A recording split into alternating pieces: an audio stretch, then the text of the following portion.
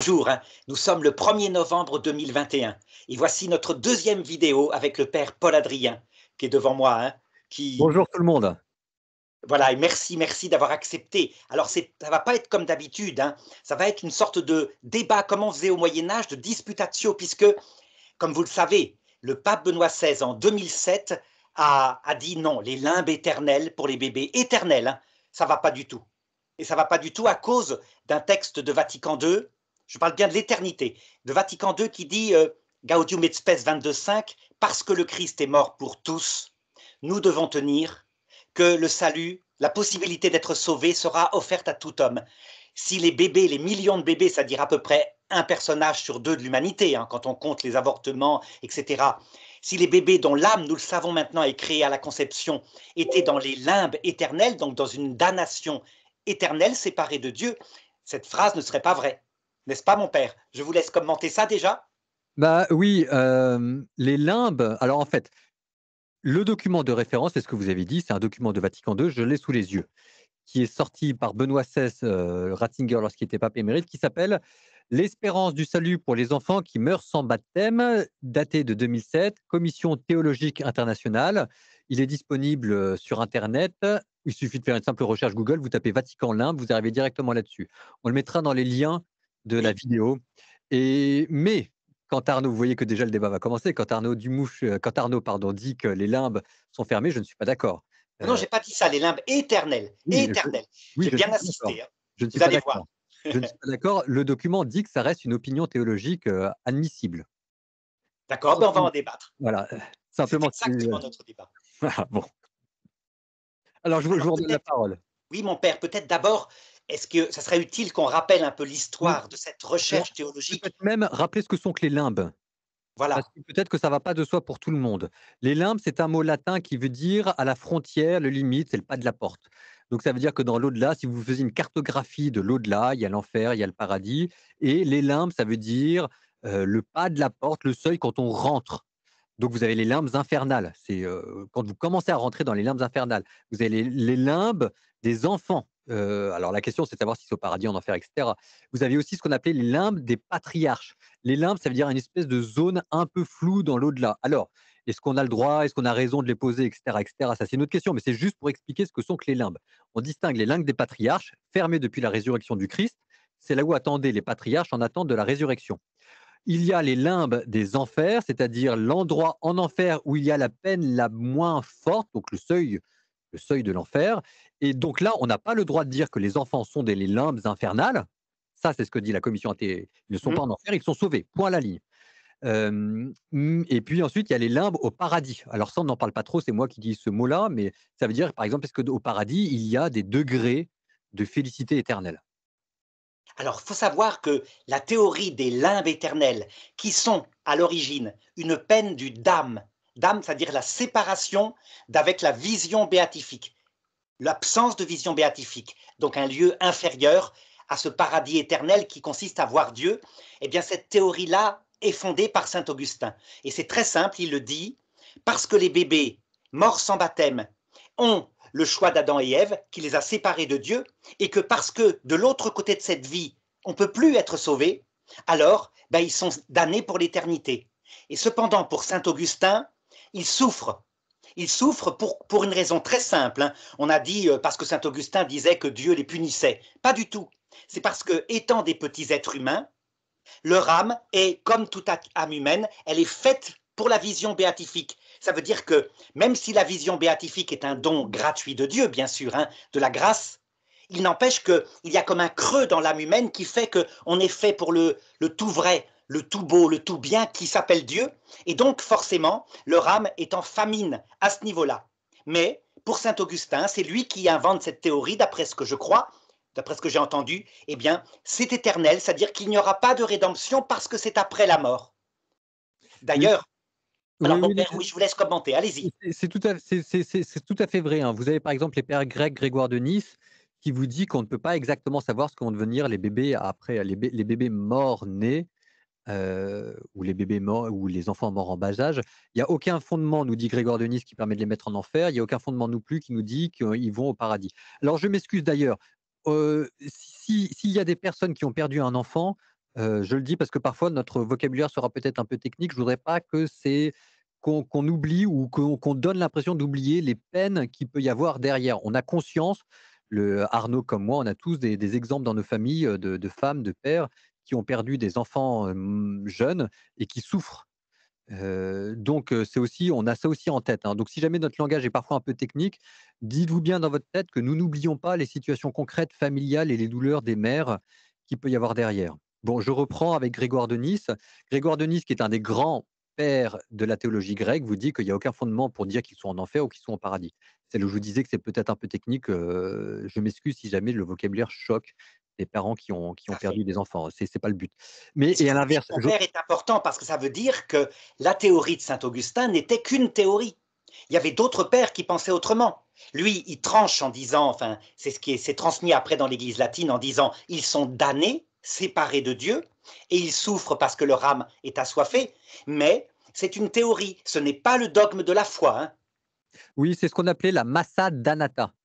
Ça veut dire que pour saint Augustin, a priori, c'était plutôt mal barré pour aller pour aller au paradis, heu, a priori, heu, bon, bah, c'était pas tout le monde, quoi et donc c'était dans ce cadre-là, avec aussi une vision du péché originel qui était assez forte, même très forte. C'est lui le concepteur du péché originel qui vous disait que les enfants ne pouvaient pas aller au paradis parce que en fait, ils n'avaient pas été baptisés, parce qu'ils n'avaient pas été réconciliés avec la grâce et qu'ils n'avaient pas été illuminés dans leur vie par la révélation du Christ. Ce qui est vrai. Ce qui est vrai, donc il y a ça à tenir. C'est vrai que les enfants n'ont pas été baptisés et c'est vrai que la Bible nous dit qu'il y a un seul médiateur qui donne le salut et c'est le Christ. Et c'est vrai aussi que la Bible nous dit que c'est en fonction des choix que nous posons sur terre que nous irons soit au paradis, soit en enfer. Donc il y a aussi tout ça à prendre en considération et de là est venue la théorie de saint Augustin qui disait que ben, les enfants morts en bas âge iraient en enfer dans les limbes alors, ce qu'on appelle les limbes, c'est-à-dire la région quand le seuil de la porte. C'est-à-dire qu'il était quand même un peu embêté saint Augustin et il disait que ce serait la peine la plus douce que l'on puisse imaginer en enfer, là où quasiment il n'y a presque pas de souffrance. Mais quand même, c'était l'enfer simplement Augustin, vous disait qu'il y avait une différence entre ceux qui étaient en enfer, enfer, enfer et puis les enfants morts en bas âge et qui eux, ne souffraient que d'une peine très «relative» entre guillemets. Bon et au fur et à mesure, la théologie latine va approfondir ça et en fait, heu, on va approfondir la peine la plus douce comme étant la privation de la vision béatifique, ne pas voir Dieu face à face.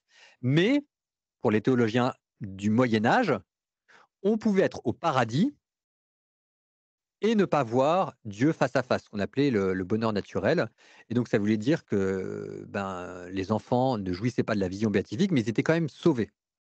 Alors ça, justement, c'est la théorie de saint Thomas d'Aquin, donc euh, 1000 ans, on peut dire à peu près, où lui, par exemple, dans, dans le Démalo, mais c'est repris quand il est mort parce qu'il n'a pas pu terminer sa somme de théologie, dans, dans le Supplementum, question 71, article 7, les suffrages, les prières sont-elles utiles pour les enfants morts sans baptême? Et il répond non, non, ça sert à rien. Les enfants morts sans baptême ne sont retenus dans les limbes que parce qu'ils ne sont pas en état de grâce. Or, les œuvres des vivants ne peuvent changer l'état des défunts, donc ces limbes sont éternelles. Sauf que pour lui, il n'y a pas de souffrance. C'est ce que vous dites. Ça veut dire qu'il élabore une théorie d'un bonheur naturel, ben, d'enfants qui sont un peu comme ça, flottants entre ce monde et l'autre. Et donc, moi, pour moi, en tout cas, quand je regarde les choses avec euh, honnêteté, je dis, le bonheur naturel pour un petit être humain ne pourrait consister que si leur esprit ne se développe pas. Ça veut dire que si leur esprit n'a pas encore ce, développement spirituel qui leur fait chercher euh, la vérité absolue, le bien absolu. Donc ils seraient comme des petits êtres, des petits bébés, à l'état d'un tout petit bébé, éternellement. Qu'en pensez-vous? C'est peut-être la seule hypothèse pour justifier comment saint Thomas d'Aquin dit qu'il n'y a pas de souffrance. Parce Oui, que sinon, si ce sont des êtres humains développés, saint Augustin a raison. Heu, je pense que c'est ça, hein. Alors peut-être encore pour qualifier, heu, par rapport aux documents dont on citait de Vatican II, quand saint Thomas d'Aquin dit qu'on n'a pas de raison de prier pour les enfants morts sans baptême, le document que j'ai sous les yeux vous dit que, bah, ça pour le coup, c'est faux. On a des raisons de prier pour les enfants morts sans baptême, que Dieu ait fait bien ce qu'il veut et qu'on a le droit d'espérer que les enfants heu, voit un jour Dieu face à face. Donc le le document se termine en vous disant: «Il y a des solides raisons d'espérer dans la prière que Dieu, heu, la miséricorde, peut les emmener jusqu'à la vision béatifique». Mais Ce qui montre euh, d'ailleurs le changement énorme, puisque ce document date de 2007, la Commission théologique internationale, donc la réflexion de l'Église s'est approfondie. Mais la Commission Mmh. ajoute, attention, il faudra trouver une solution qui accorde toutes les vérités dogmatiques alors, définies par l'Église au cours de son histoire. Quand on dit qu'il y a des raisons d'espérer et de prier, ça veut dire que Dieu n'est pas, Dieu fait bien ce qu'il veut. Dieu n'est pas lié, la puissance salvifique de Dieu est absolue. Mais, mais, on n'a aucune raison, ni tirée de la tradition, ni tirée de la Bible, de dire que a priori, les enfants jouiront de la vision face à face avec Dieu.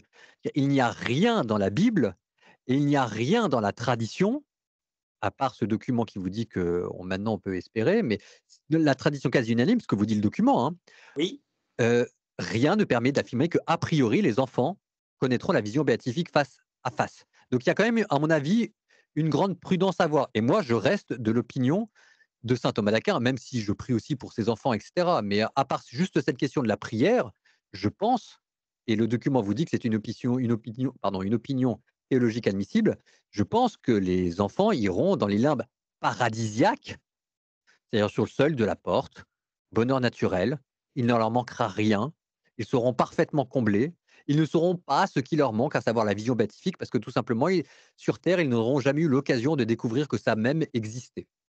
Alors mon père, là, là, je ne suis pas du tout d'accord avec vous, hein, je vous le dis, et c'est ça qu'on appelle une disputatio. Vous dites il n'y a rien dans l'écriture. Je dirais au contraire, c'est clairement dans l'écriture, mais clairement, et non seulement dans l'écriture, mais maintenant dans un dogme. euh, Enfin, je vais en parler tout à l'heure. On pourra discuter si c'est un dogme ou pas. Quand Jésus dit, vous vous rappelez, euh, alors des petits enfants, Matthieu 19, 13, leur lui fut présenté pour qu'il leur imposât les mains en priant sur eux, mais les disciples les rabrouèrent, et Jésus dit alors, laissez les petits enfants venir à moi, ne les empêchez pas, car c'est à leur pareil qu'appartient le royaume des cieux. Puis il leur imposa les mains et poursuivit sa route. Là, on a quelque chose de très fort. Et alors, non seulement ça, mais regardez un autre texte. Vous vous rappelez cette histoire quand Caïphe est en train de discuter avec les, autres prêtres pour savoir comment on va éliminer Jésus. Caïphe s'énerve et dit Vous ne comprenez rien. Vous ne comprenez pas qu'il vaut mieux qu'un homme meure plutôt que le peuple tout entier. Donc, lui, son texte, comme grand prêtre, c'est simple il dit Il faut zigouiller Jésus. Et Jean commente, Saint Jean commente en disant En fait, il ne dit pas ça de lui-même, mais parce qu'il était grand prêtre cette année-là, il prophétisa que Jésus devait mourir pour non seulement le peuple juif, mais pour les hommes dispersés dans le monde entier. Vous voyez, ça veut dire que manifestement le Christ est mort pour tous. Alors, on pourrait se dire, ben, c'est un dogme qui a échappé quelque part à l'Ancien Testament. Oui, mais le Nouveau Testament, il lui arrive la même chose. Concile Vatican II, je vous disais tout à l'heure, avait décidé de ne pas prononcer de dogme solennel pour ne pas imposer de choses comme ça. C'était un concile pastoral. Et puis Paul VI change les choses. Et voilà qu'un texte dans Gaudium et Spes 22.5, qui est un texte, un document pastoral, hein, un texte dogmatique leur échappe. Je vous le lis.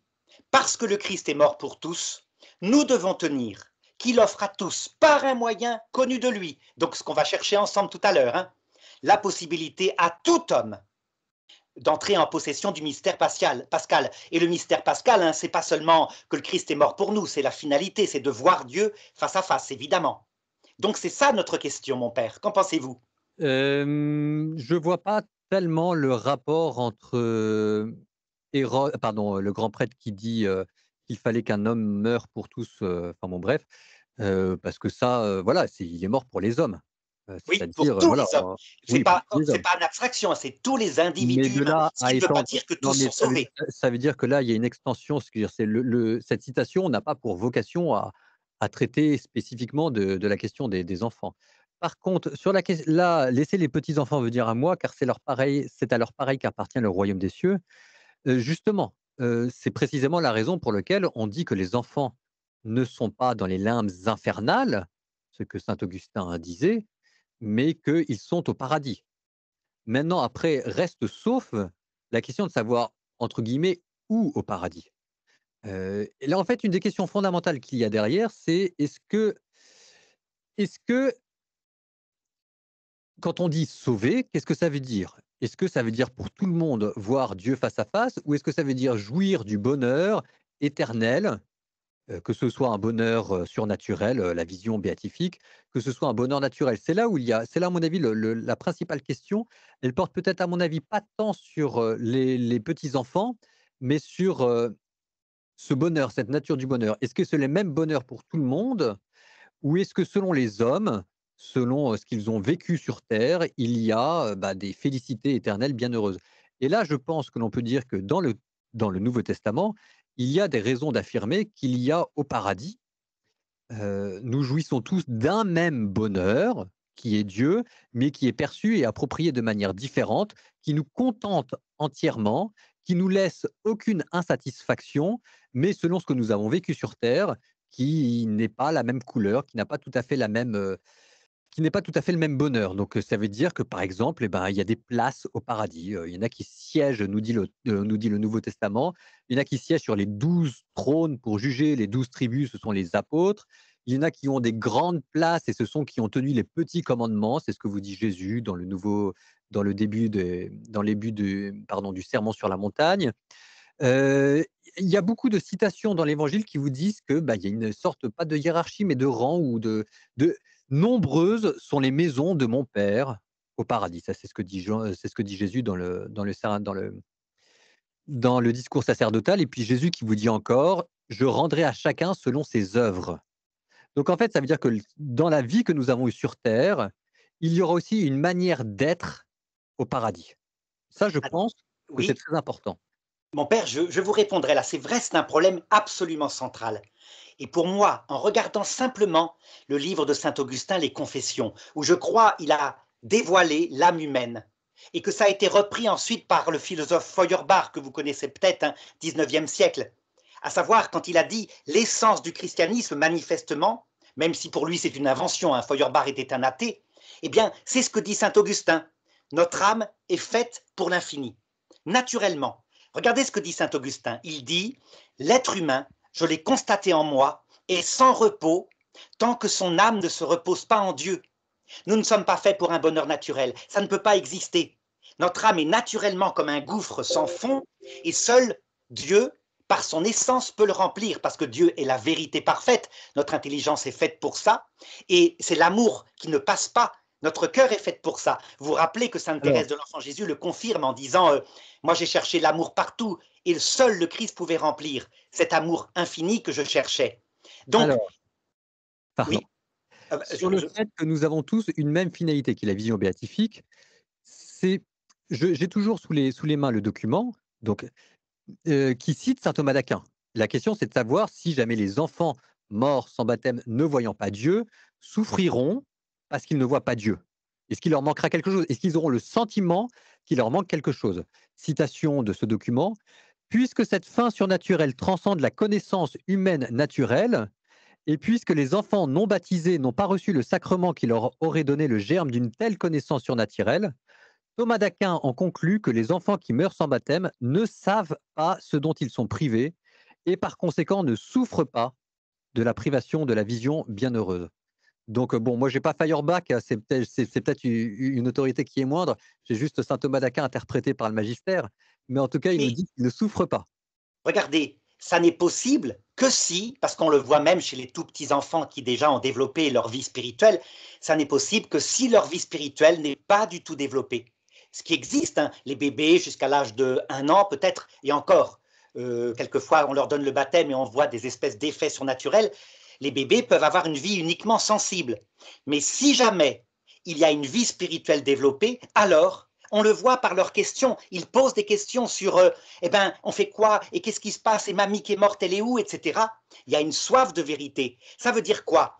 Je ne contredis pas du tout ce que vous dites. Hein. Je l'ai bien dit. La vision béatifique est un don gratuit, surnaturel, et donc on ne peut pas l'obtenir naturellement.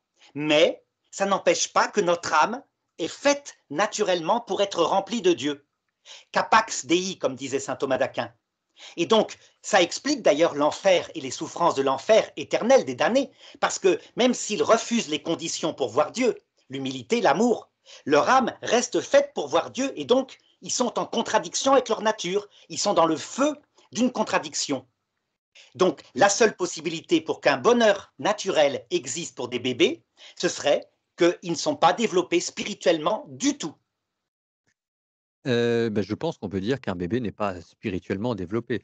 Sur cette question de, mmh, est-ce que par nature nous sommes faits pour un bonheur surnaturel? Hein, c'est une question complexe, hein. Est-ce que c'est notre nature qui est, orientée vers le surnaturel? Que c'est simplement le désir qui est naturel en nous et qui est orienté vers la surnature? Est-ce que c'est la pure nature et cetera? Il y a tout un débat théologien. Alors c'est là où je vais avoir du mal. Je pense que c'est pas un bon argument, c'est-à-dire qu'on utilise, des choses qui sont un peu pour le coup dans les limbes de la théologie.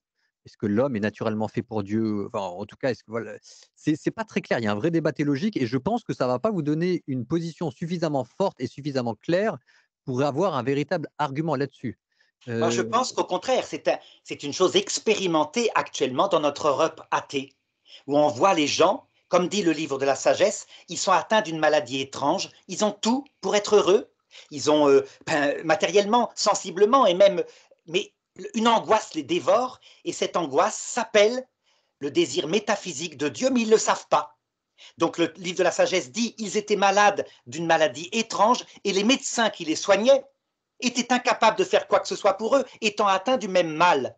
oui et ça ça se développe avec, heu, l'éveil de la raison et voilà, précisément un enfant, qui meurt en très bas âge, sa raison, enfin je veux dire, il n'a pas encore une conscience développée pour se poser une sorte d'inquiétude et d'angoisse métaphysique. tout à fait. Et ça voudrait dire, c'est l'hypothèse possible, ça voudrait dire que ces enfants-là sont donc en état ben, encore de vie, vie sensible animale et non pas de vie spirituelle développée du tout. Oui, mais je pense qu'on peut dire alors si vous voulez, ils ont potentiellement en eux de quoi devenir, heu, une vie, spirituelle et ça leur confère une dignité humaine. Voilà, que les choses soient bien claires Puisque dans leur âme est créée, de toute Parce façon. que hein, leur âme, est créée, donc on est on est parfaitement clair et encore une fois, je le redis, si jamais parmi vous, vous avez perdu des enfants en bas âge, j'espère que ne qu'on ne vous donne pas l'impression de traiter trop légèrement de ces vrais problèmes et on a conscience de la souffrance qu'il peut y avoir. Donc, heu, les enfants sont des personnes humaines. Heu, la question, c'est c'est je pense que parce qu'elles ont la potentialité de voir une âme qui s'éveille à la raison et à la recherche métaphysique. Mais un enfant en bas âge, heu, n'a pas encore exercé cette faculté-là et donc pour lui, cette vie spirituelle est potentielle, elle n'est pas actuelle. elle n'est pas actuelle, sauf que, effectivement, vous l'avez constaté, quand on baptise un tout petit bébé qui vient de naître, eh bien, l'Esprit Saint vient en lui et lui est passif, il ne répond pas, un peu comme quand sa maman la prend dans ses bras, et il habite en lui réellement, au point que, d'ailleurs, il le- si, si l'Église demande qu'on baptise les petits-enfants et qu'on prie avec eux, au point que l'Esprit Saint vient prier en eux et les connaturaliser avec la vie de la grâce, quand on prend cela au sérieux. Donc la capacité spirituelle est dans leur âme non encore développée. bah, non, je pense que justement, c'est un effet du baptême. C'est un effet du baptême, Donc ça veut dire évidemment. faut les baptiser. Reste à savoir si il n'y a pas, comme le disait, vous vous rappelez Céline, la petite, la grande sœur de Sainte Thérèse de l'Enfant Jésus. Parce que Sainte Thérèse de l'Enfant Jésus s'est posé la même question. hein. Là, je peux vous citer certains textes d'elle qui sont absolument fantastiques. Quand elle dit, par exemple, vers 1896, un petit bébé, ça ne se damne pas. Hein? Et alors, elle avait posé la question à sa sœur à propos des bébés et elle leur demandait de lui répondre à la question des demeures que vous indiquiez tout à l'heure. Et sa sœur lui avait répondu, Céline, tu vois ce petit dé à coudre qu'il y a là Si je le remplis d'eau, est-il plein? Et sa petite sœur, Sainte Thérèse avait peut-être 8 ans, hein, lui répond oui. Et tu vois ce grand verre de papa, si je le remplis d'eau, est-il plein? Et elle avait répondu oui. Lequel est le plus plein? Ben, ils sont pleins tous les deux. Et c'est ça, ça illustre. Ça veut dire que dans le paradis, la mesure qui nous est donnée de vision béatifique est en fonction de deux choses. Premièrement, notre désir de charité, et deuxièmement, l'humilité de notre âme qui creuse dans notre cœur un vase qui peut recevoir Dieu comme place. Mais il n'empêche que, on le voit bien, pour Céline et pour Sainte Thérèse de l'Enfant Jésus, qui l'écrit d'ailleurs tout le temps, eh bien l'âme humaine, elle confirme Saint Augustin, est faite pour voir Dieu, comme un vase fait pour être rempli. Alors, je j'aurais à mon avis, on tire la la un peu plus loin cet exemple. C'est-à-dire c'est un très bel exemple, hein. Qu'est-ce qui est le plus beau? Est-ce que c'est une marguerite ou est-ce que c'est une rose? Qu'est-ce qui est le plus plein? Un un petit verre plein d'eau ou un grand verre plein d'eau? Tous les 2 sont pleins. Mais vous, vous vous interprétez ça tout de suite dans le sens de la vision béatifique. Moi, je pense qu'on peut dire que c'est tout simplement le bonheur. Qu'est-ce qui est le plus heureux au paradis? Heu, un enfant qui est entièrement comblé d'un bonheur naturel et qui ne sait même pas qu'autre chose peut exister, ou un grand saint qui voit Dieu face à face et qui en est rempli? C'est-à-dire que je pense que les deux sont, pour autant qu'ils peuvent être heureux, aussi heureux et que d'une certaine manière, l'un n'est pas plus beau que l'autre. C'est entre la différence entre la marguerite ou, la rose, etc. Mais je veux dire, les deux sont parfaitement heureux. Hein, ça, on est parfaitement d'accord. mais justement, je pense que ça, ça veut dire qu'il y a plusieurs manières d'être heureux au paradis. Est-ce qu'on peut être, voilà, est-ce que jouir d'un bonheur naturel, c'est déjà être au paradis? Je crois que oui. Alors, en tout cas, voilà, vous allez présenter après, évidemment, votre conception. Je présenterai la mienne. Mais avant, peut-être, je vais vous donner un dernier argument euh, d'ordre écriture, puisque vous m'aviez dit que dans l'écriture, il n'y avait rien qui permettait de conclure. C'est le fameux texte, vous vous rappelez, en Matthieu chapitre 12, verset 31. J'aimerais bien que vous me donniez votre avis. Quand Jésus dit clairement, vraiment, hein, comme on dirait presque une, un repère de la foi, aussi je vous le dis, tout péché, tout blasphème, sans exception sera remis aux hommes, mais le blasphème contre l'Esprit Saint ne sera pas remis. Et quiconque aura dit une parole contre le Fils de l'homme, cela lui sera remis. Mais quiconque aura parlé contre le Saint-Esprit, cela ne lui sera pas remis ni en ce monde, ni dans l'autre. Ce qui semble indiquer hein, que le seul péché qui subsiste dans l'enfer éternel, c'est quand on a un péché mortel et que, en toute lucidité, sans aucune espèce d'ignorance, en toute maîtrise de soi, parce que le Saint-Esprit procède du Père et du Fils, ce qui veut dire de la puissance et de la connaissance hein, en Dieu, eh bien, on renie Dieu, on n'en veut pas. Et donc les damnés y sont librement. Si vous suivez cette phrase-là, alors vous mettez une exception de plus. Il y aurait donc une damnation, même sans souffrance, à cause d'un autre péché que le blasphème contre l'Esprit Saint, qui serait le péché d'Adam et Ève, le choix d'Adam et Ève, le péché originel. Qu'en pensez-vous? Comment répondriez-vous à cela? Bah, je ça ça va pas, ça c'est une interprétation qui me paraît pas correcte. C'est-à-dire que les pères de l'Église ont pris généralement ce verset comme une des preuves, un des arguments de l'existence du purgatoire. À savoir que justement au purgatoire, on bah, Dieu dit, enfin Jésus dit: «Tout péché sera remis sur terre ou dans le monde à venir», donc ça veut dire qu'on peut remettre des péchés dans le monde à venir, donc ça c'est le purgatoire pour nous. et ceux qu'on choisit librement et avec lesquels on on s'identifie, ça vous met l'enfer. Dieu, Dieu ne pardonne pas ce pourquoi vous ne voulez pas être pardonné. Bon. Voilà. Après, sur les péchés.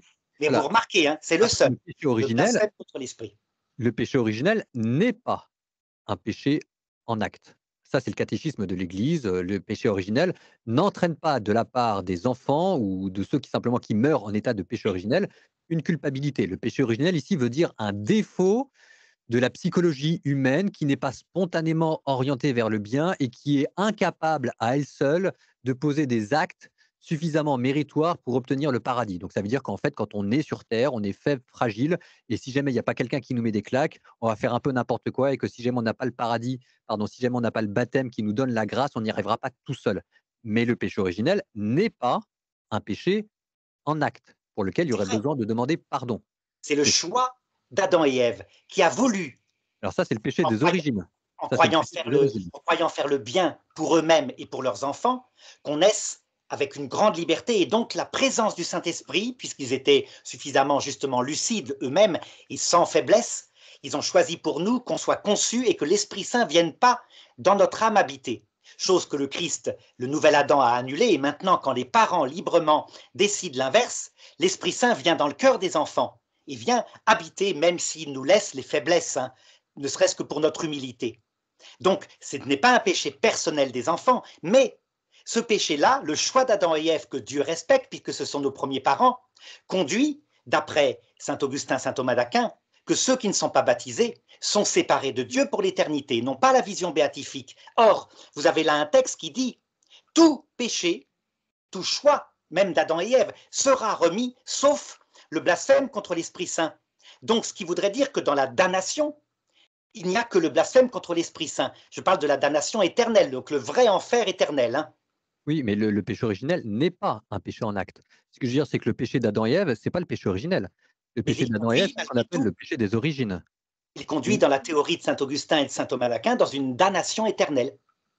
sans souffrance. Le péché des origines d'Adam et Ève, c'est leur péché en acte propre qui a laissé des traces dans notre nature qu'on appelle le péché originel. Et que le péché originel nous laisse dans un tel état de débilité spirituelle qu'à moins d'une grâce qui vienne, nous ne pouvons pas connaître euh, Dieu naturellement.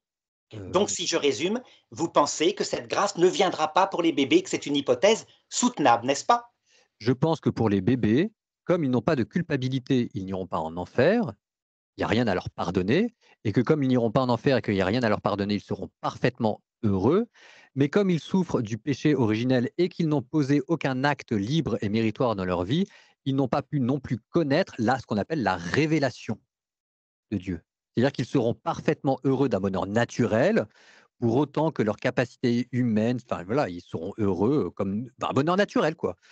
Euh, voir Dieu face à face, Dieu, euh, euh, le mystère de la croix, le Christ qui parle, les anges qui se penchent vers le tombeau de la résurrection et puis l'effusion de l'Esprit Saint, ce que ça veut dire en termes de, de, dons, etc. Bah, je pense que à cause du péché originel, ça, ils l'ignorent. Et comme ils l'ignorent, ils sont pas malheureux parce qu'ils savent pas que ça existe, mais ils l'ignorent. Ils ne le savent pas, ils ne le connaissent pas. Vous voyez que vous soutenez ici une théorie qui montre par l'expérience, hein, sauf si les bébés restent non développés, que pour les tas d'athées qu'il y a autour de nous qui ignorent complètement ça, il y a une grande souffrance, leur cœur est vide, beaucoup d'angoisse, beaucoup de suicides actuels, comme si le cœur humain aspirait, ce que d'ailleurs saint Thomas d'Aquin appelle une prémotion divine, hein, mais aspirait à quelque chose de plus grand, et parce qu'on les en a privés en Europe occidentale, les gens sont bouffés par une angoisse. Et donc, vous voyez, l'ignorance ne semble pas annuler cette angoisse, ni d'ailleurs chez saint Augustin. C'est une petite remarque en passant. Hein. Bah, oui, mais c'est une angoisse d'homme adulte. C'est pas la même chose. Un homme adulte qui angoisse, c'est un, enfant de, de, un mois, trois jours qui ignore. Absolument. On ne peut pas comparer. Et je le redis, que les enfants sont au paradis. Alors maintenant, si vous voulez, mon père, hein, je vous propose, c'est que vous, vous présentiez euh, ce que est votre conviction à vous sur les limbes, sur donc ce paradis hein, que vous appelez des limbes, éternels avec un bonheur naturel. Et ensuite, moi, je vous présenterai euh, la conception que je me suis forgée, puisque la Commission théologique internationale nous demande de le faire en tenant compte de tous les repères dogmatiques. Il y en a un certain nombre, hein. je peux vous les donner si vous voulez, euh, euh, dont on doit tenir compte absolument, à savoir qu'il n'y a pas de salut sans Jésus-Christ. Le salut se fait par la foi. La foi ne suffit pas. Il faut que la foi fonde une charité qui est la vertu théologale réciproque d'un amour de Dieu, la présence du Saint-Esprit en soi. C'est ce que dit Jésus à Nicodème. Hein. Si tu ne renais pas d'en haut, tu ne peux pas entrer dans le, dans le royaume des cieux. Et puis, il y a un troisième dogme qui nous dit avec le pape Benoît XII que après la mort, tout homme qui est sans la grâce sanctifiante, sans la charité, est aussitôt conduit en enfer pour y subir des peines diverses. Ça veut dire que après la mort, c'est trop tard. Est-ce que vous êtes d'accord, mon père, pour ces, ces, repères de la foi, pour les garder? Oui. Après la mort, c'est trop tard. La, la, mort met fin à la vie terrestre qui est caractérisée par l'accueil libre ou le rejet libre de la grâce. Catéchisme de l'Église catholique. Donc je peux maintenant vous laisser euh, présenter votre euh, hypothèse alors moi, ça ira peut-être vite parce qu'on en a déjà pas mal parlé, parce qu'en fait, on n'était pas commencé tout de suite, on n'était pas censé commencer tout de suite le débat, mais en fait, on l'a commencé tout de suite. On l'a fait, c'est obligé, hein. on est obligé. Alors ben moi, je vais relire parce que euh, quand même, euh, c'est magistralement exposé par Benoît XVI. Je suis un fan de ce pape quand il parle de la position de Thomas d'Aquin. Donc le document dont on vous parlait, encore une fois, on vous remettra le lien en bas. Il est assez long, mais il faudra quand même le lire.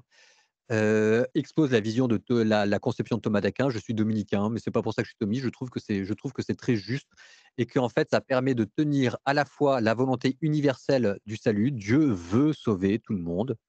Dieu veut sauver tout le monde. C'est ce qui est écrit dans la Bible. Et puis Dieu est bon.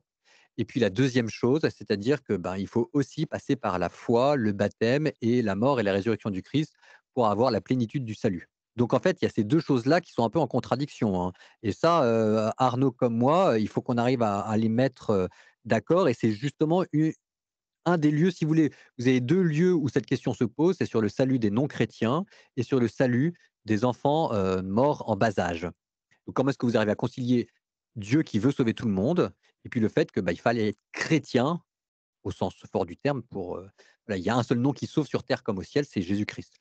Et donc, je vous cite au paragraphe 23 la position de saint Thomas d'Aquin, qui reste une opinion théologique et qui, moi, me satisfait entièrement. Puisque les enfants ne commettent pas de péché actuel avant l'âge de raison. C'est ce qu'on disait, le péché originel n'est pas un péché en acte. C'est ce qu'on a, ça c'est un défaut, mais il n'a pas, encore été actualisé par des péchés. Donc c'est un défaut congénital entre guillemets le, le péché originel. On n'est pas spontanément tourné vers le bien. Puisque les enfants ne commettent pas de péché actuel avant l'âge de raison, les théologiens au Moyen Âge en vinrent à considérer communément que les enfants non baptisés n'éprouvent aucune souffrance dans l'au-delà, ou même qu'ils jouissent d'un plein bonheur naturel. Tous les mots sont importants.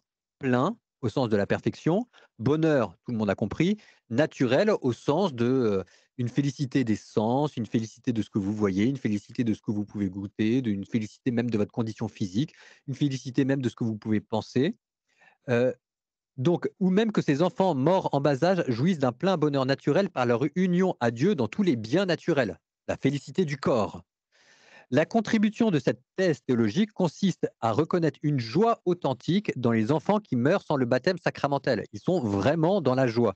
Et ils possèdent une réelle forme d'union à Dieu. Donc ils sont dans la joie, ils sont unis à Dieu, proportionnés à leurs conditions. Et à mon avis, le mot ici important, c'est le mot proportionné. C'est ce que je vous disais, un des passages de l'Évangile. Jésus dit, Voici que le Fils de l'homme vient, il rendra à chacun selon ses œuvres. Donc, il y a une certaine forme de proportion entre ce que vous vivez sur Terre et ce que vous vivrez plus tard dans le ciel. Et donc ça, il y a cette proportion à tenir, je pense. Euh, qu'un enfant qui n'a pas vécu sur Terre de la même manière qu'un grand saint eh ben, ne connaîtra pas le même bonheur euh, au ciel euh, parce qu'il y a un lien entre notre vie sur Terre et puis notre vie au ciel. Donc, ils possèdent une réelle forme d'union à Dieu proportionnée à leurs conditions. Ben voilà, bonheur naturel. Bonheur naturel, et d'une certaine manière, ils sont heureux.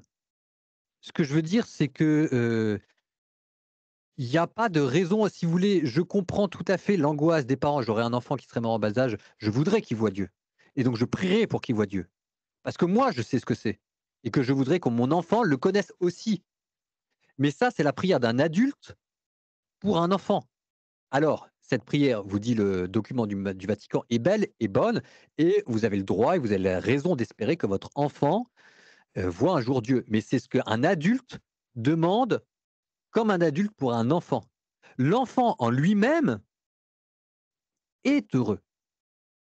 Il est au ciel. Il est sauvé. Euh, et donc, avec ça, moi, je pense qu'on on tient on tient à la fois le fait que Dieu dise laissez les enfants venir à moi. On tient le fait que Dieu veut sauver tout le monde. On tient le fait que c'est aussi par le baptême et la foi que l'on connaît vraiment Dieu face à face. Et c'est aussi, on tient les affirmations de l'Évangile qui nous disent que la félicité au ciel sera proportionnée aux actes que nous avons aussi posés sur terre.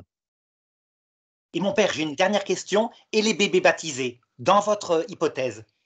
Bah Alors ça, je ne sais pas trop les enfants baptisés, ce qui est sûr, c'est qu'ils ont la grâce et qu'ils ont quelque chose en plus que n'ont pas bah, forcément les enfants qui ont été qui sont morts sans baptême. Ça veut dire que bah, ils ont quand même Dieu. On vous dit qu'il a enlevé les traces du péché originel. Ça veut dire que la grâce sur terre a habité l'âme d'un enfant, même si jamais l'enfant n'a pas eu conscience de ce que ça veut dire. En tout cas, sur Terre, il a eu cette grâce-là. Il a été réconcilié, il a été adopté par Dieu comme fils de Dieu.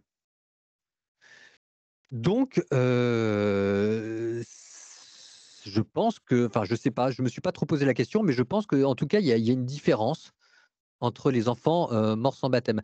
Encore une fois, euh, Dieu, après de ses prières, fait ce qu'il veut et nous les confions tous à la miséricorde de Dieu. Mais ce que nous pour Saint Augustin et pour Saint Thomas, vous savez, hein, ils vont directement au ciel, instantanément dans la vision béatifique. Oui, bah, vision béatifique, je ne sais pas s'il dit ça.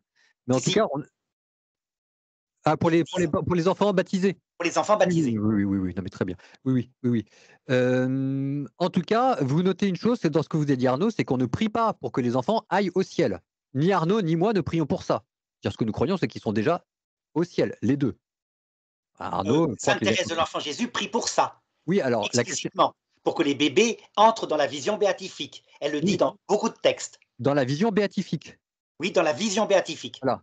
Mais la question reste sauf de savoir si jamais on peut être au paradis en étant simplement un bonheur naturel. Voilà. Donc en fait, moi c'est là où je vous dis, le gros truc, c'est que dans ma, il faut pas identifier tout de suite le paradis avec la vision béatifique. Je pense que le paradis est une notion qui excède la vision béatifique. Ce qui est vrai, puisqu'on le voit avec Saint Paul quand il dit Je connais un homme qui est monté au troisième ciel. Il a vu le Christ lui apparaître dans sa transfiguration et il dit J'étais au paradis. Alors Saint Augustin, Saint Thomas d'Aquin dit donc il a eu un moment de vision béatifique. Pour ma part, je ne pense pas. Il a vu, et c'est bien suffisant, il a vu le Christ transfiguré comme Pierre, Jacques et Jean sur le mont, là, vous vous rappelez. Hein je pense que ça suffisait. Oui. enfin, ça, c'est une autre question. Oui. Alors à vous maintenant. À moi. Vous avez des questions? Non, mais ça sera notre débat après. Ça sera notre débat, parce que là, évidemment, je vais présenter quelque chose d'autre et vous me direz ce que vous en pensez. D'abord, une chose hein, qui va peut-être scandaliser un peu nos, auditeurs, certains diront, mais alors donc, on, est en train de se moquer de saint Thomas d'Aquin, de saint Augustin? La réponse a été posée par Marcel Vannes. Vous vous rappelez Marcel Vannes, ce jeune homme qui est, qui est, déjà vénérable, qui n'est pas encore béatifié, qui aimait beaucoup Sainte Thérèse de l'Enfant Jésus et qui a passé sa vie à prier pour les bébés morts sans baptême? Et donc, Jésus lui apparaît à un moment donné, et voilà un entretien qu'il a. Marcel dit à Jésus, mais alors ce que tu me révèles là, sur le sort des bébés morts sans baptême, est-ce que tu n'as pas l'impression, Jésus, que tu méprises Saint Thomas pour avoir soutenu une opinion erronée? Et Jésus lui répond, pas du tout, petit frère. Je ne dis pas que c'était une opinion erronée, mais une vérité qui n'était pas encore connue. C'est pourquoi je veux la révéler afin qu'on la reconnaisse publiquement. Ne te trouble pas, je suis la vérité, continue à me suivre sans jamais craindre de t'égarer. Donc voyez, Saint Thomas d'Aquin, le docteur des docteurs, hein, pour nous deux, mon père, nous sommes comme des nains qui sont montés sur les épaules de géants que nous respectons, mais sur des domaines euh, où Vatican II les a contredits, nous suivons Vatican II, bien sûr. Hein. Ils ne sont pas infaillibles, ni Saint Augustin, ni Saint Thomas d'Aquin. Donc on peut se permettre d'avoir des opinions différentes, et c'est ce qui fait avancer la théologie. Vous êtes d'accord? Alors, je dirais simplement qu'ils ne sont pas infaillibles comme la parole de Dieu ou la Bible n'est pas infaillible, mais ce sont des autorités graves. Ça veut dire que vous avez le droit de dire qu'on n'est pas de pas être d'accord avec saint Augustin et saint Thomas d'Aquin. Par exemple, on vous a cité la notion de massa danata de saint Augustin qui n'a pas été reprise hein, par le magistère, mais ça veut dire en tout cas qu'il faut avoir des véritables arguments que vous ne pouvez pas simplement dire je ne suis pas d'accord avec saint Thomas et saint Augustin. Je veux dire, a priori, voilà. Absolument. Alors ensuite, il faut affirmer que dans l'histoire de la dogmatique, donc des dogmes infaillibles de l'Église catholique, 17 fois, les limbes ont été définis. Par exemple, je vous cite celui-là, euh, c'est le, par exemple, Innocent III, la lettre Maiores Ecclesiae, la peine du péché originel est la privation de la vision de Dieu, mais la peine du péché actuel est le supplice de la géhenne éternelle. Donc il y a bien la distinction que vous faites. Et je pourrais vous trouver des tas de textes qui disent toujours la même chose le Concile œcuménique de Lyon, etc. Donc, ce qui est intéressant, et c'est là que moi je crois vraiment que l'Esprit Saint rend infaillibles les, vérités dogmatiques de l'Église, c'est que jamais dans les 17 textes, l'éternité des limbes n'a été définie. Jamais. Toujours les limbes, jamais leur éternité. Voyez ce que je veux dire, hein? Donc ça veut dire que moi qui ai tendance à essayer de regarder les repères que me donne l'Esprit Saint par les dogmes infaillibles, eh ben je vois que l'éternité n'est pas définie. C'est intéressant. Alors ensuite, effectivement, je le reconnais, hein, Saint Augustin dit, les enfants non baptisés, parce que Adam et Ève ont choisi pour eux, sont donc séparés de Dieu pour l'éternité, mais comme leur âme est faite naturellement pour voir Dieu, même si c'est un don de la grâce, ils souffrent. Je pense que sa position est beaucoup plus réaliste que celle de Saint Augustin. Toute maman le sait. Un petit bébé, euh, moi, je vais vous raconter ce qui est arrivé à ma petite fille quand elle avait un an. Elle avait été baptisée, vous me direz. Hein. Eh bien, je me rappelle, elle était toute petite. Je lui demandais, il est où ton ange gardien? Et toujours, elle me montrait, ah, un endroit. Et après, je faisais des expériences. Il est où ton doudou? Elle réagissait pas. Il est, elle est où Sainte Blandine? Elle s'appelle Blandine, ma fille. Elle montrait le même endroit. C'est incroyable. Je lui avais jamais appris. Donc il y avait une présence de l'Esprit Saint. Euh, paraît-il, on dit que les enfants parfois voient leur ange gardien tout petit, puis après ils oublient. Mais moi je l'ai vu de. Enfin, il y avait une grâce qui était là. Et, je pense avec Saint, Saint, Augustin vraiment que l'âme des petits-enfants, même si elle n'est pas développée, elle est capax dei. D'où le baptême qu'on met dès les bébés. Donc, la théorie de saint Augustin consiste à dire que les bébés morts sans baptême sont damnés pour l'éternité, les bébés baptisés rentrent directement tout de suite dans la vision béatifique. Je pense pour ma part que ni l'une ni l'autre des hypothèses ne fonctionnent. Et alors je sais, le père Dubrul m'avait contredit en me disant Mais quoi Que dites-vous? Les saints innocents qui ont été massacrés lors de la naissance de Jésus sont rentrés dans la vision béatifique. Oui, mais je lui avais répondu Ils sont rentrés 33 ans plus tard, le jour du vendredi saint, quand Jésus est allé les chercher, donc dans, dans les limbes des patriarches, si vous voulez. Et donc je vous propose cette hypothèse-là. Puisque l'entrée dans la vision béatifique est, dit saint Paul dans l'Épître aux Éphésiens, comme un mariage que les conditions du mariage sont nécessaires. Il faut donc connaître le cœur de son bien-aimé, pas d'une connaissance passive, hein, pas celle d'un bébé qui est dans les bras de sa maman et qui aime sa maman, non, d'une connaissance d'adulte. Que deuxièmement, ça doit être un choix libre, comme on fait un mariage, vous savez, c'est les conditions du droit canonique. Si le mariage n'est pas fait dans la connaissance minimale du cœur de son époux et si on ne le choisit pas librement, il n'y a pas de mariage valide. Eh bien, ça veut dire que les bébés baptisés, parce que ce sont des bébés, ne peuvent pas rentrer directement dans la vision béatifique, ils sont trop petits, ils ne peuvent pas se marier. Donc, voyez, dans les deux cas, je pense qu'en regardant la totalité des dogmes, on doit admettre que les enfants doivent se développer un certain temps, doivent développer d'abord leur vie sensible quand ils meurent, puis leur vie euh, spirituelle, et à ce moment-là, ils peuvent se porter dans un acte de mariage qui est l'entrée dans la gloire éternelle, D'abord, ils se portent vers la charité, hein, évidemment, comme des petits-enfants qui grandissent. Et donc, selon moi, c'est assez simple. La solution tient en deux lignes. Les limbes existent toujours, mais les limbes, en hébreu, c'est le shéol. En grec, c'est l'hadès, c'est la mort. En réalité, quand le dogme du pape Benoît XII vous dit après la mort, c'est trop tard, il faut prendre, à mon avis, la mort dans le sens de le passage du shéol pas dans le sens de l'arrêt du cœur. Sinon, là, effectivement, massa damnata. C'est une tapetara, c'est un piège. Mais si vous la prenez dans le sens biblique, comme le raconte Saint Pierre dans la première épître, quand il raconte, vous vous rappelez les, les gens qui étaient morts au déluge, là, qui avaient refusé de croire et qui sont sauvés, dit Saint Pierre, le jour du vendredi saint. Donc ça semble opposé à la constitution Benedictus Deus du pape Benoît XII qui dit qu'après la mort, c'est plus possible. Sauf si vous prenez la mort comme étant le sens biblique, le shéol, l'Hadès. À ce moment-là, tout devient clair. Le, salut leur est proposé par le Christ le vendredi saint, et si après la mort, donc après cette présentation, ils sont en état de péché mortel, c'est qu'ils l'ont refusé cette fois, mais en toute lucidité, en toute maîtrise d'eux-mêmes. Rien à voir avec euh, leur mort quand ils étaient sauvages, vous savez, au moment du déluge, où là c'est des idiots, et puis euh, des complètement pris par leurs addictions. Dans ce cas-là, vous auriez donc l'hypothèse que les enfants passent dans la mort, sont dans la mort, que là, ils sont pris en charge par des parrains marraines du ciel si c'est une fausse couche, ou par des parents adoptifs du ciel. Sainte Thérèse le dit elle-même, un texte qui est très fort. Vous vous rappelez que sa petite sœur qui était mariée n'avait pas pu avoir d'enfants, elle était stérile. Et elle dit, j'ai prié beaucoup pour qu'elle ait des enfants, mais si ça ne marche pas, elle doit savoir que dans l'autre monde, elle aura la chance d'être mère et d'adopter des petits-enfants qu'il faudra faire grandir. Donc elle avait déjà posé cette hypothèse-là. Donc si les limbes sont provisoires et qu'ils grandissent, ça voudrait dire que 50% de l'humanité, Dieu a prévu bien sûr pour eux un endroit où ils peuvent grandir.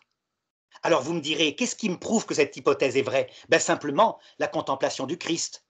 Il est mort pour tous. Il va certainement pas abandonner ses petits-enfants, surtout si, comme le pensait saint Augustin, leur cœur est un cœur humain, et donc il n'y a pas de bonheur naturel sans qu'on voit Dieu. On est fait pour voir Dieu. Que d'autre part, le dogme le dit, il est mort pour tous, donc a priori en premier pour les petits-enfants. On ne le voit pas mettre un piège pour les petits-enfants. Lui qui leur a imposé les mains, et donc forcément il a une solution. Et pourquoi pas les limbes, puisque le dogme en parle, mais des limbes provisoires. Voilà. Qu'en pensez-vous, mon père? Je pense que, je pense que c'est hautement problématique. Allez-y. Euh, je, bah, les limbes, dans la conception classique, ne sont pas provisoires. Les seules limbes qui étaient provisoires, c'était les limbes des patriarches, parce que c'était, entre guillemets, «la salle d'attente» avant la résurrection. Mais d'un commun accord, avec le mort, ce que vous disiez, avec le vendredi saint, ces limbes, les limbus patriarchorum, ont été fermées. Les limbes, qu'elles soient infernales ou, les limbus ont été fermées dans la théorie scolastique, hein, pas dans le dogme. Le dogme n'a jamais dit ça. Donc c'est là où il faut être très précis. Il faut distinguer la théorie scolastique et le dogme. Par exemple, dans toute la conception de Saint Patrick et de l'Église d'Irlande, même les limbes existent actuellement, d'où la fête d'Halloween que avait baptisé Saint Patrick pour en fait en faire le 2, novembre, la fête des, âmes qui était entre ce monde et l'autre. Et regardez à quel point c'est vrai. Le pape Benoît XVI lui-même, dans Spécial Vie 44-45, dit manifestement, il y a un lieu entre ce monde et l'autre où la sentence finale n'a pas été présentée. C'est quoi un lieu où la sentence finale n'a pas été présentée, si ce n'est ben, ce limbe, cette porte du ciel Donc la fermeture est une hypothèse scolastique. Alors, les, patriarches étaient dans les limbes pour d'autres raisons que les enfants morts sans baptême. Oui. Les patriarches étaient au limbe parce que le Christ n'était pas encore ressuscité. Oui. Les enfants seraient ou ne seraient pas dans les limbes parce que ce sont des enfants. Donc, ce que je veux dire par là, c'est que les limbes des patriarches, ce n'est pas la même chose que les limbes des enfants. Ils n'y sont pas pour les mêmes raisons, et donc ça ne c'est pas le même, euh, c'est pas la même chose. Sur les, limbes, provisoires, c'est-à-dire que maintenant que le Christ est mort et ressuscité, etc., euh, ce ne sont pas, dans la conception classique, ce ne sont pas des, ce ne sont pas des, des, lieux provisoires. C'est-à-dire que dans la conception classique, ce sont des lieux, des étapes, des, des, seuils de la porte du paradis ou de l'enfer. En tout cas, il y a deux choses. C'est que la conception classique, donc je précise, hein, la conception à la, enfin, qui a eu le plus de succès dans l'Église latine. donc la, scolastique, Saint Augustin, Saint Thomas d'Aquin, Jean de Saint Thomas, etc. La tradition commune, disons. Euh, alors après, sur le shéol comme euh, mort, euh, non. Parce que ce sont les personnes qui sont déjà mortes qui vont au shéol.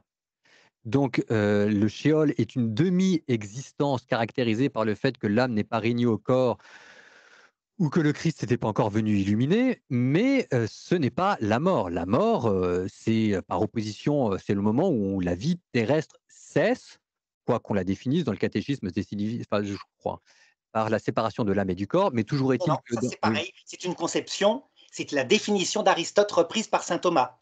Vous ne la trouvez jamais dans le dogme. Le dogme dit simplement, après la mort, constitution benedictus deus, une personne qui n'est pas en état de grâce est aussitôt conduite en enfer. Et on est parfaitement d'accord, mais cette même conception, conception de benedictus deus, quand elle, quand elle dit après la mort, dans sa tête à elle, euh, reprend mmh, cette conception de la fin de la vie terrestre. Pas forcément. Ah bah, bah euh, là, je pense que si quand même. Parce oui, certainement dans sa tête. Définir, ah oui, bah oui. Rappelez-vous ce que je euh vous ai dit sur Caïphe. Dans sa tête, ça ne veut pas dire défini. Et si l'Église avait dit la mort, je la définis comme, par exemple, l'arrêt du cœur suivi de l'arrêt du cerveau, suivi de la séparation de l'âme et du corps, et l'histoire que la mort serait durable, je, je la condamne. Je ne pourrais pas soutenir cette hypothèse. Le problème, c'est que le pape Benoît XVI lui-même la reprend dans Spécial Vie 47 en disant Oui, un passage non chronométré. Il n'en fait pas un dogme, hein. il en fait une hypothèse théologique. Donc, voyez, ça veut dire Concile que. De Carthage. Concile de Carthage, troisième canon.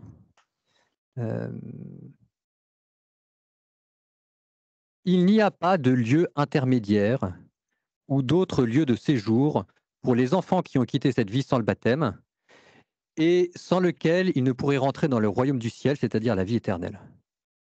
Donc, euh, le concile de Carthage, le canon 3, vous dit qu'il n'y a pas de lieu intermédiaire, de l'improvisoire, dans l'au-delà, qui permettrait une sorte de sas, de transition pour rentrer dans le royaume des cieux. Ça, c'est un canon 3 euh, qui est même euh, condamnable par anathème. Alors, je ne sais pas si exactement ce que vous dites rentre là-dedans ou pas, mais en tout cas, je pense Il faudra que je vérifie ce texte. Il faudra que je le vérifie, puisque c'est la première fois qu'on me le cite, qu'on condamnerait des limbes provisoires. Il, est dans le, il est dans le document là, du, du, Vatican sur cette question des enfants. Donc je vous le redis parce qu'à mon avis, ça c'est un, un, vrai truc. Il n'y a pas de lieu intermédiaire ou de lieu de séjour heureux pour les enfants, donc de l'improvisoire, euh, voilà, il n'y a pas de lieu intermédiaire ou de lieu de séjour pour les enfants qui ont été de cette vie sans baptême, sans lequel, ce qui est un peu compliqué, c'est qu'il y a une double négation, sans lequel ils ne peuvent entrer dans le royaume des cieux, c'est-à-dire la vie éternelle. Donc, euh, ça veut dire que qu'il serait une sorte de passage obligé pour rentrer dans le royaume des cieux. Cette fois-ci, je pense qu'il faut comprendre par royaume des cieux la vision béatifique. Oui, tout à fait. C'est ça le royaume des cieux, la vision là, je, là, là, je, voilà. En tout cas, euh, il y, a, y, a, ce canon numéro 3 euh, qui, je pense, en tout cas au niveau du dogme, euh, vous dit que c'est moi, c'est cette notion de provisoire. Je, voilà, je ne peux pas acheter, ça me semble pas biblique, ça me semble pas correspondre à la notion de shéol, et ça me semble pas correspondre à, ce que nous entendons communément par la vie et la mort. Et puis, je, voilà, de lieu intermédiaire. Ça l'est, ça l'est, et ça l'est même dans la tradition à cause des saints innocents il y a effectivement eu pour eux un lieu provisoire. Oui, les l'un des patriarches. L'un des, patriarches. Mais vous voyez, ça veut dire que ces enfants sont morts sans baptême, ils ont reçu la grâce d'une façon ou d'une autre, ils sont entrés, notre, notre foi nous le dit, puisqu'ils sont saints, ils sont entrés dans la vision béatifique. Mais, Donc vous voyez, rien n'empêche que le Christ fasse la même chose pour les, autres. Saints innocents, les saints innocents ne sont pas comparables sur deux choses. Les limbes dans lesquelles étaient les saints innocents ne sont pas comparables euh, à ce que vivent les enfants morts sans baptême, pour deux raisons. C'est que, un, c'était parce que le Christ n'était pas encore ressuscité, alors que pour nous, le Christ est déjà ressuscité. Et deuxième raison, c'est parce que les saints innocents ont connu ce qu'on appelle le martyr, pardon, le baptême dans le sang. C'est-à-dire que par leur mort, ils ont été associés de manière mystérieuse au mystère pascal par leur mort euh, violente par Hérode. Donc, si vous voulez, euh, ça fait quand même deux, deux choses qui mettent les saints innocents à part de la, du sort entre guillemets commun des enfants morts sans baptême euh, Pas vraiment, parce qu'on pourrait dire, par extension, en tout cas c'est ce que vous feriez si vous étiez au ciel, si vous étiez Jésus-Christ. On pourrait dire que les enfants avortés sont exactement dans le même, dans le même, dans le même cas. C'est-à-dire que le massacre par l'avortement provoque la même chose, mais que même les petits-enfants qui simplement sont morts, les pauvres petits, comme ça, chez des païens, c'est le même cas, ils sont passés par la vie terrestre. Et donc ça dépend absolument de l'amour de Jésus-Christ. Bah ça, de toute façon, on est d'accord. Euh.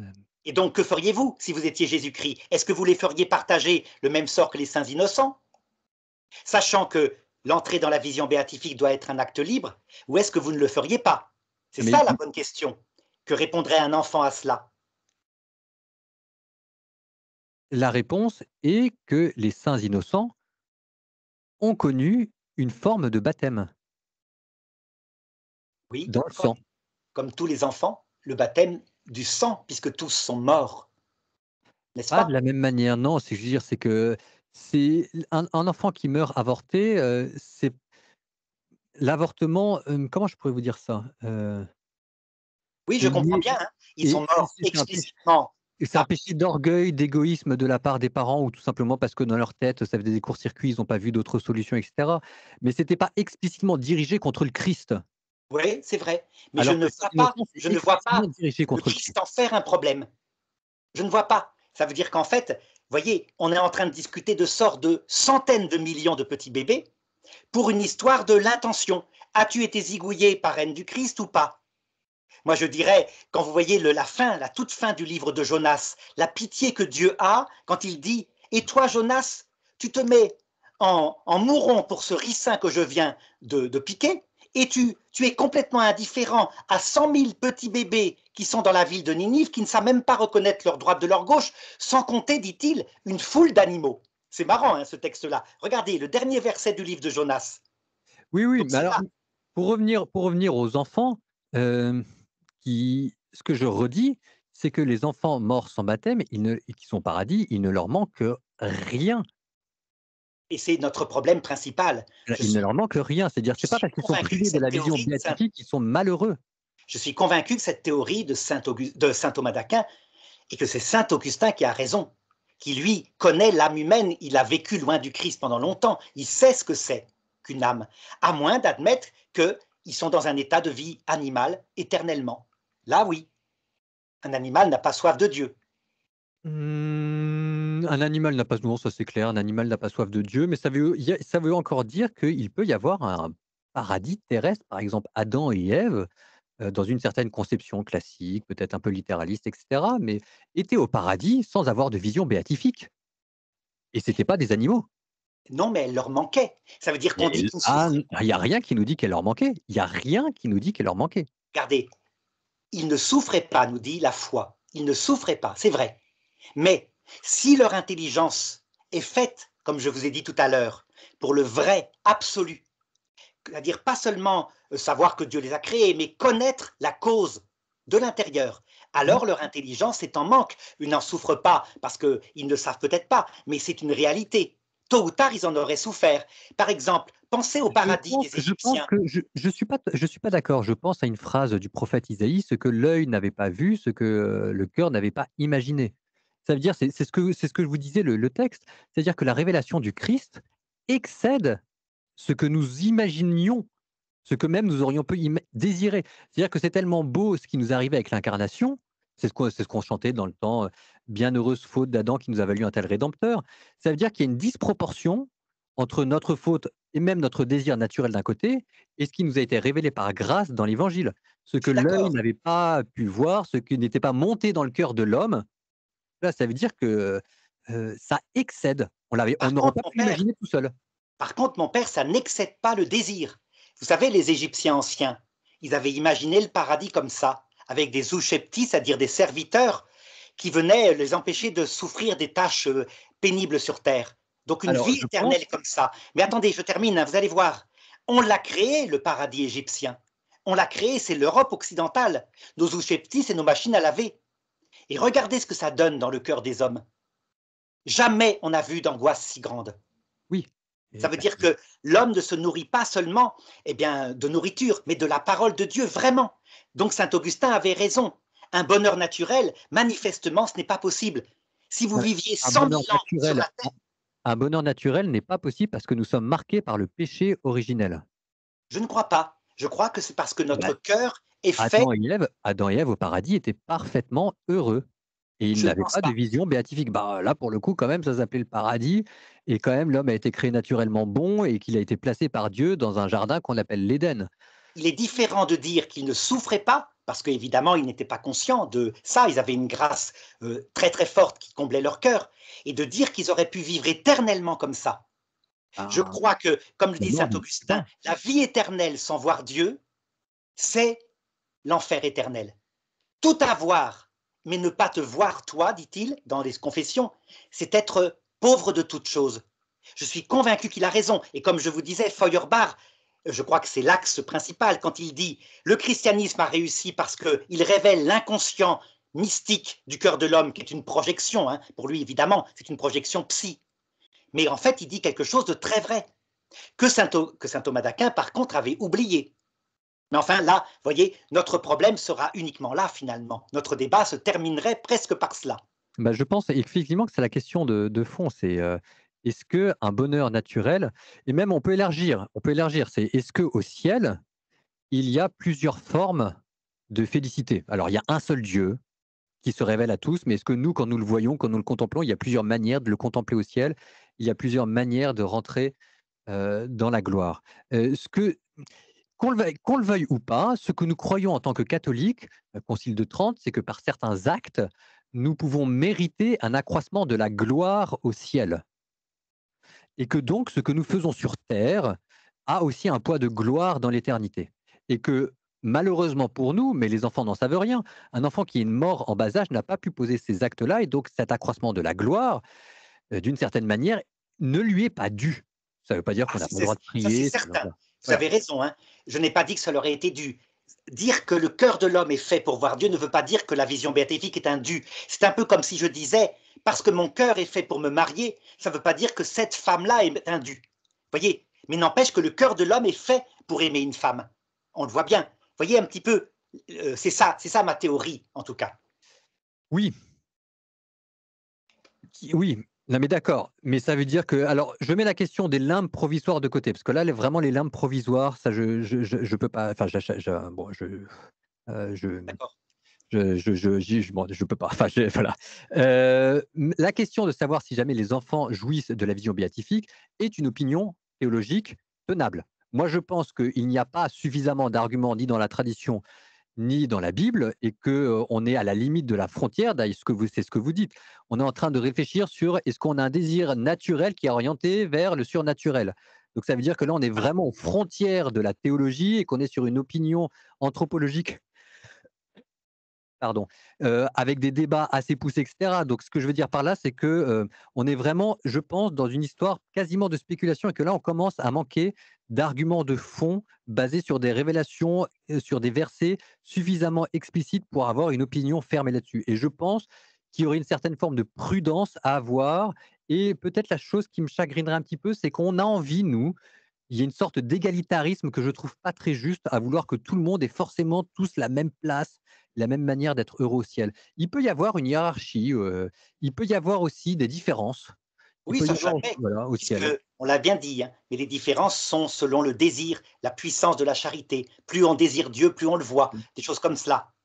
En tout cas, je peux vous dire que là, actuellement, en regardant l'Europe occidentale, je crois que on voit en acte ce que disait saint Augustin. Le cœur de l'homme, manifestement, est fait pour l'infini.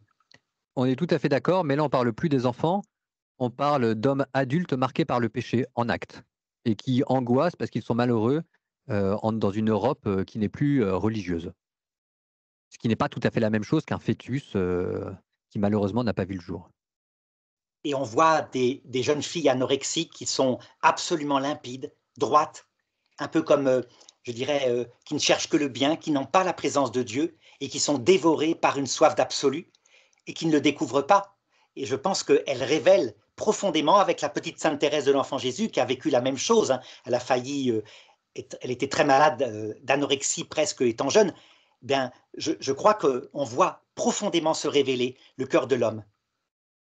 Enfin, en tout cas, mon père, je crois que nos deux positions ont été bien présentées. hein. Qu'en pensez-vous? Est-ce que c'est la peine d'aller plus loin? Non, en tout cas, moi, je pense qu'on a je de de mon point de vue, on en en tout cas, j'ai dit ce que je voilà, mon opinion. Je ne suis pas forcément un spécialiste de cette question. J'espère avoir le présenté le mieux possible.